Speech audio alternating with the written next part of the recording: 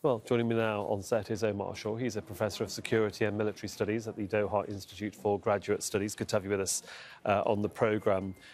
Benny Gantz hasn't gone to Washington, D.C. just to shake hands and just to talk about the day after. He's got to talk about the here and now, and that includes the, the debate over arms and ammunition. It's a, it's a fight that the president is still having with Congress. Absolutely. I think uh, what will happen is probably he's going to ask for a bit more of military assistance, uh, especially in uh, they have shortages in uh, artillery shells. They have uh, some worries about uh, air defense munitions.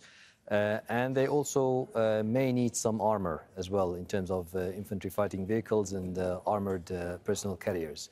So they may require some of that. And um, I think uh, he will be asking for that. And it makes sense because if the truce, um, if, if, some sort of a truce ha has happened uh, or was successful, uh, I think what we'll, we will see is a bit more of uh, uh, reconstitution of forces, uh, reparation of some of the, um, the armored vehicles, and also rearming them in, to be much more effective in the next round. Indeed. I mean, there is a, a, very interesting comment being made by a senior US official, uh, John Ford, I think it is, um, and he says, and we quote, uh, I've seen Israel humiliate previous US administrations, but aside from murderous 1967 Israeli airstrike against the US Navy ship Liberty, now forcing the USA to do airdrops of aid to Gaza as if the USA is no better than Egypt and Jordan, is Israel's worst humiliation of USA I have ever seen.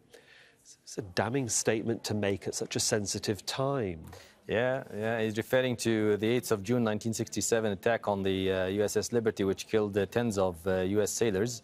Um, and uh, there was a big debate about it. Was it a mistake, or were the, uh, the Israelis trying to blind the Americans from what they're going to do to Syria in terms of occupation of the Golan Heights and uh, moving on?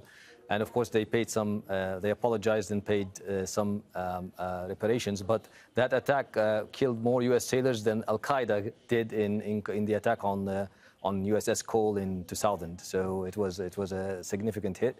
But also in terms of the um, uh, of uh, what he's referring to, yes, it's it's uh, it's not even a an attempt to uh, get U.S. aid by land or by sea or even via Israel.